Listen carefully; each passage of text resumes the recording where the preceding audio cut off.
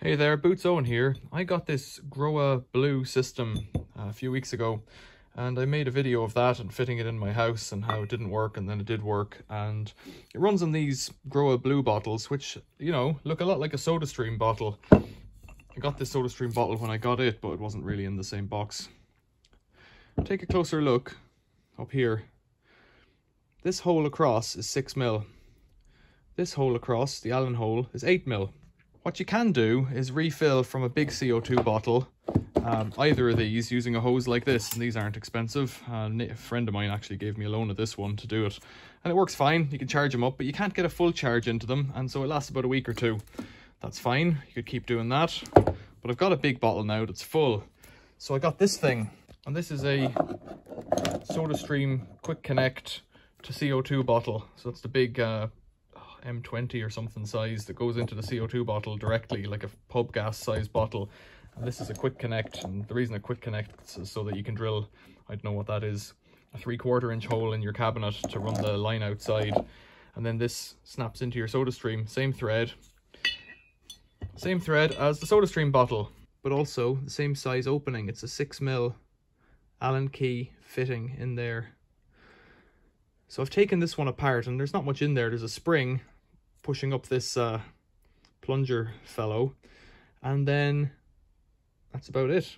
So I think to get this to work on the Grohe system, I've disconnected this already. So to get this one to work on here, I either need to fit an adapter into the bottom of this, which is possible, or I just need to bore out the center of this ever so slightly. So I'm going to give that a go. Quick and dirty table saw top videos. That one's six mil. It fits in there. Should do. Yeah, it fits in there. The Grohe bottle takes the eight mil. So I need to make a hole that is at least eight mil across rather than six mil across so that the thing, the pin inside in the Grohe Blue system can push this down because at the moment it can't push it down so the gas won't come out. So unscrewing this, you have to kind of push it in and unscrew it, but once it starts it's quite easy. This little brass plug.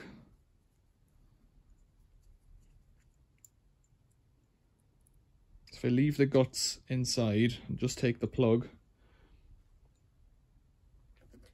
as long as I don't go below the shelf in there, the step, I'll be okay. So basically I need to clamp this in somehow carefully into something and uh, just carefully drill it out with an 8mm bit, I think I think that'll do it without gnawing up the threads. And then just put two little dashes across the top with the hacksaw or something so that I can get a big flat screwdriver in to tighten it up again. So let's give that a go. So the easiest way to hold it is to put it into the uh, unit it just came out of. So I've taken out the pin so that I don't damage it.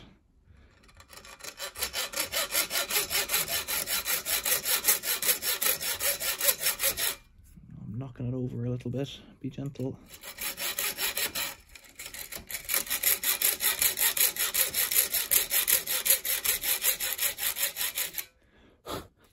What's going to happen is whenever I drill into it now, it's going to make it harder. It's going to tighten it in there. So let's just put it in. It's it's bearing up. Actually, I don't really want to do it. I don't know what I'm doing here.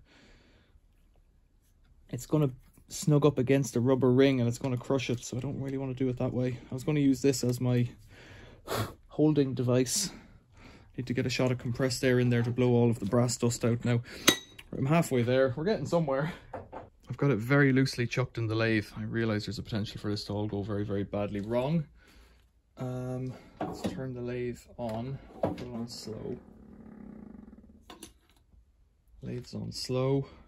So with the lathe on slow, let's press start.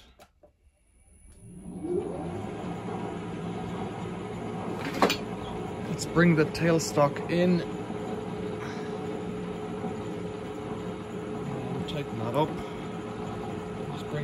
very gently. Everything's just very gently chopped. I want to go real slow here.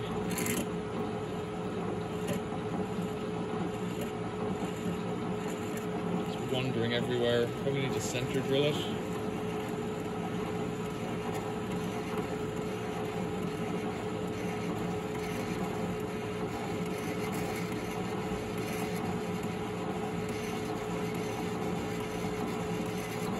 I'm just walking it in really slowly.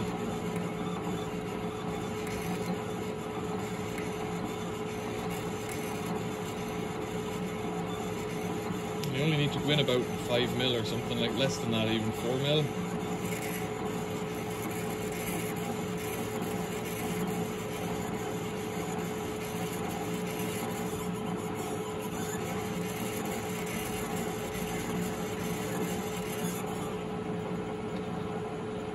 It's doing a nice job though. About halfway there.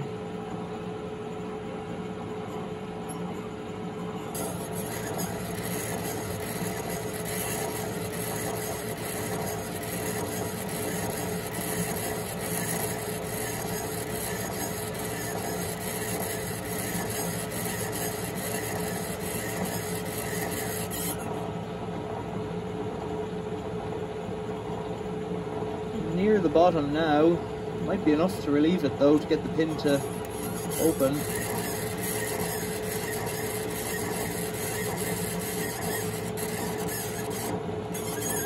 Okay, I've lost the bit in the chuck.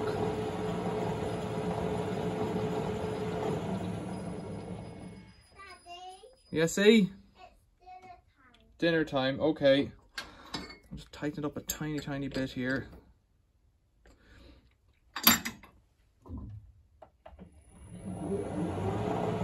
Could quit while I'm ahead, but it's not my way.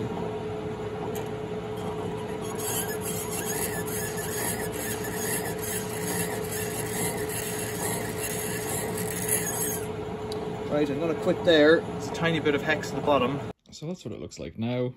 Hopefully, hopefully we can, I'll give it a shot of compressed air and it'll get the bits out of it. So this one has an O-ring in it. I need to be quite careful. I managed to mar that edge. That's a bit of a goofball move because I wonder if there's a, if it bears a seal down upon that. It might have a, like a rubber ring that that seals against. I suspect that it does. Uh-oh, we'll see what happens. If it, might need to skim the top of it or something. So let's rebuild it. Spring, I think this is just aluminium. Spring, plunger, and this guy. So there's a tiny silicone ring on the plunger as well. I presume it's silicone. Silicon. I don't know, which is it? I wonder can I do this with my fingernail? I only needed to get a bit below flush. I'd say that's not bad. Something small, like a little screwdriver. Just bring it around with that.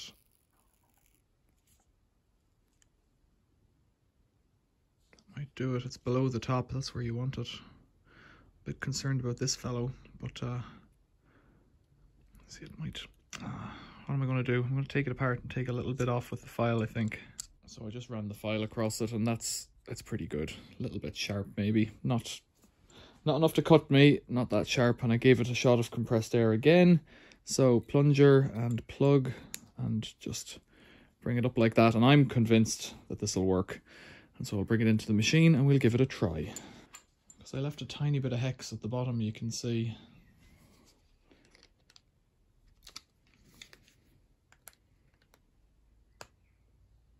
Yeah, I left just enough as well, so I didn't even need to make those saw cuts. So I could have done it that way, just drilling it out. Maybe that's a lesson learned. Let's try it in the machine. So back inside, take out the old one, which I know is empty because it stopped making fizzy, fizzy, fizzy. And then disconnect that quick release. This has to go in, but it's very difficult to reach in because you're I think I could just do it with the tips of my fingers.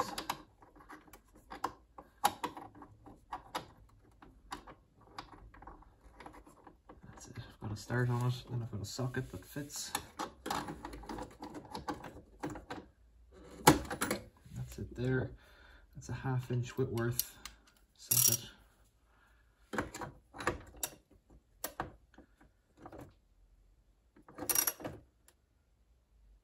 Now you really don't want it to be tight. The awkward bit then, difficult bit is getting this quick release on. You have to pull it down to get it on. I can, I can just reach it with the tips of my fingers. One side, so much the better. No.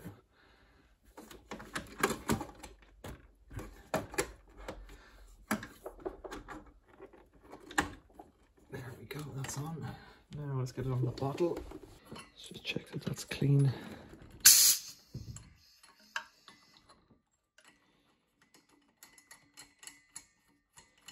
Tighten it up a little bit. It's got a rubber washer, so it shouldn't need too much tightening. Let's open it and listen for hissing.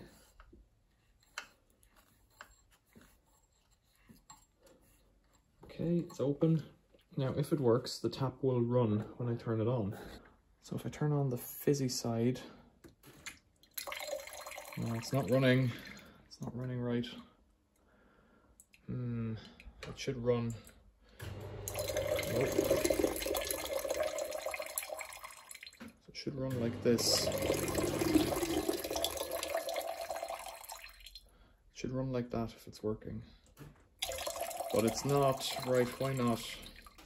So I've done a bit more work on it. I've taken a step from the top down about 2 mil uh, to the thickness of the root of the thread because I think that might be stopping it. And then I also don't know if the the hex here was stopping it. used to come to about this level where my thumbnail is, but I, so I've taken that back a bit as well. Not quite into the bottom, but that might fit now.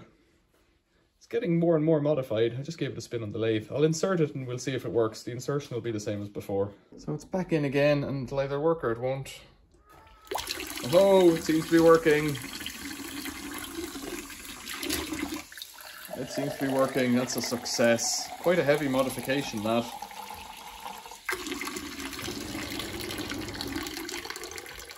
So you saw what it looked like when it didn't work, and that was the way it worked with the SodaStream bottles. Tastes like fizzy water. So then, Grohe SodaStream. The bit that I wasn't paying attention to was the distance between the top and this neck here. This one's quite a bit shorter, so if I put them end to end, the SodaStream has this extra relief here of a few mil, and it's this shoulder here is probably stopping the bottle going in. So I maybe didn't need to cut it all the way down to the root of the thread, but I did need to chop it off. I don't think it's this top bit. I'd say it's probably the bottom because it's the difference between the two bottles. See the thread here starts two mil back as well, so it, can't have hurt it, but I don't think it made any difference. I think the difference would be, and with the SodaStream bottles as well, if you were to cut, um, what would it be? Three mil, maybe, off here and bring it down to this diameter, which is, I don't know, two mil greater than the diameter here. Well, two, two, two mil radius greater, uh, two on each side, then it might fit.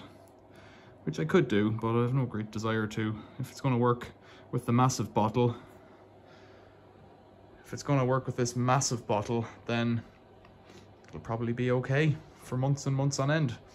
One of these refilled from that bottle will do about a week or two because you can only get 100 grams into it, not the full 400 and 500 grams that it should take.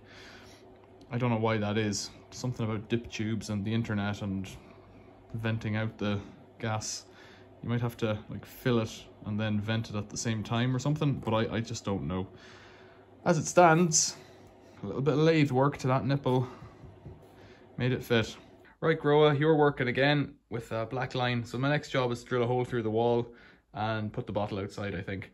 Questions or comments, leave them below. Thanks for watching. See you later.